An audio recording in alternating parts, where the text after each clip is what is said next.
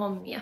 Koska mä näytän siltä, että mä olisin noussut haudasta. Mä oon niin valkoinen ja kalpea, että et mä en edes keksi, mikä on niin valkoinen kuin minä ja kalpea. Mun hiukset on likaiset, silmäpussit, kaikki.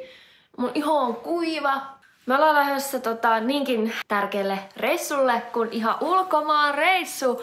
Ei, älkää innostuko, Tallinnaan vaan mennään. Mennään Abi bileisiin. Kyllä mun nyt täytyy näyttää sen ihmiseltä. Ensinnäkin, minkä käsi on Abit? En tiedä edes.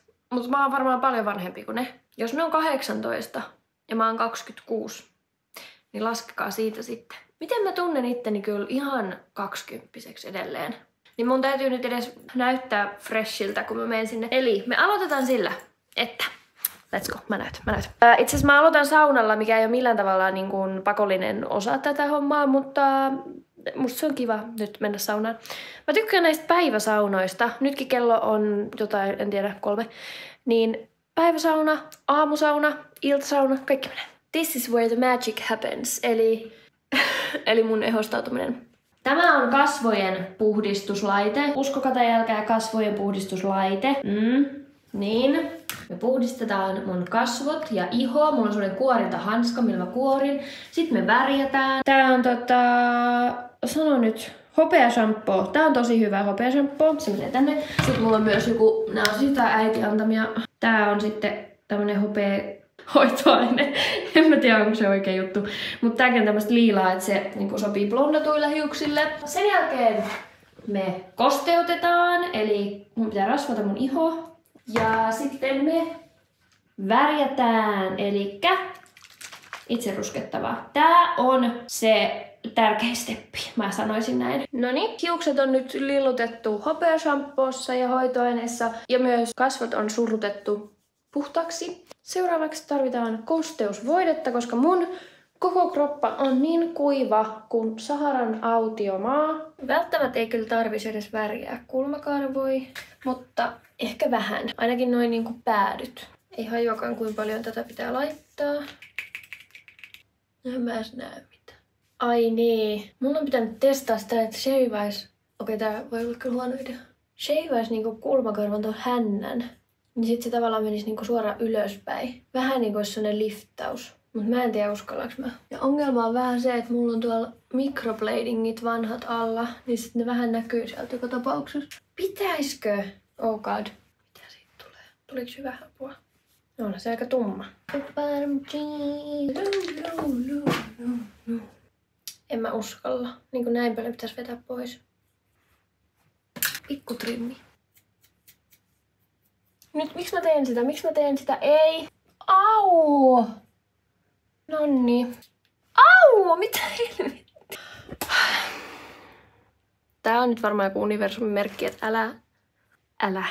Voi vittu, Apua. Oh, fuck. Se ei oo vielä niin paha. Onks ne pahat? Tää on vähän paha. No ihan sama. Mulla on mitään. Täytyy mennä se itse raskuttava pois ja ruveta laittautumaan. Hyvän värinen tuli. Siis mulla ei täällä oikein semmoista mitään kunnon meikkipistettä, niin tota, mä oon tässä sohvalla, että mä saan tuolta luonnon valoa. Niin yritän tässä meikkailla aina. Niin tota, mä en tiedä mihin mä laitan teidät. Näkyykö Nyt mä teen ensin kulmat ja silmät ja sitten viimeisenä pohjan. Näyttääkö nämä mun kulmakarvat nyt pahalta? Ei ne mun mielestä. Tuolla näkyy kyllä noita microbladingeja, mutta me saadaan ne piilotettua. Mä lähdetään siis tänään Apikous Tallin bileisiin. Danskulla on siellä jotain, ilmeisesti jotain juontojuttuja. Ja tota, siellä varmaan alkoholi kuuluu asiaan. Niin mä kokeilen juoda vaan rommia. En tiedä mitä tota, teidän äidit on opettanut teille, mutta mun äiti on opettanut mulle, että rommia kun juo, rommia kun juo pelkästään, niin ei tule darra. Ja ikinä mä en ole onnistunut juomaan pelkästään rommia, että ei ota niinku mitään muuta. Niin tota, Nyt mä sen testaan. I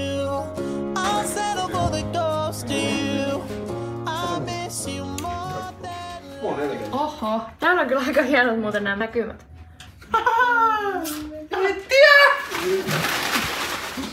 Näytä sitä selkää nyt. Tykkääksä tosta tunne nenä asioita? Ei. Wow. Vihaan sitä. Mä oon ollut niin upeata boy. Tota, mulla muuten meni vähän nyt huonosti tää mun, että mä juon pelkkää rommia, mutta ehkä huomenna. Mitä, mitä nainen puhuu, mitä me... Iltapäivä kahvilla. Sä saat olla kahvin koemaistaja. Vähän huulet palo. Häh? Huulet vähän palo.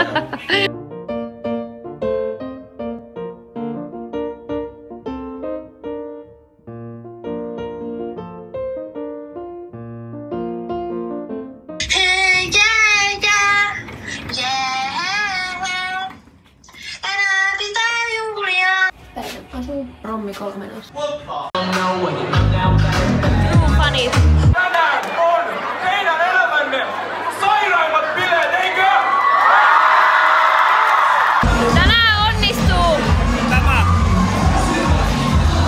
piti tilata yksi juoma, mutta otti vahingossa kaksi. En mä tilannut. Mä en tilannut. Tubeen mitä YouTubeen? Eikö tänään, tänään juodaan vaan rommia? Tilannepäivitys. Mä oon oikeesti juonut pelkkää rommia.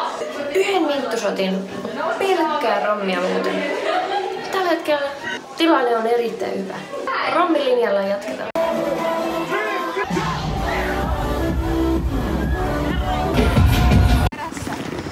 Let's go! Niin siinä kävi, että romista ei tule darra. Lääketieteellinen koe tullut päätökseen. Empiirinen testi. Tulos positiivinen. Toimii.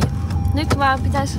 5 kautta 5, toimii. Se on tosi, tosi vaikea vaan juoda sitä pelkkää rommia. Yhden minttusotin join eilenkin. Et tota, vaikein osuus on se, että ei lähde lipsu. Muutenkin tuli sellainen hyvä, hyvä meininki. Rommi toimii. Kiitos äitille tästä vinkistä. Mä oon teidän äitille se vinkin, että minua pitäisi kiittää.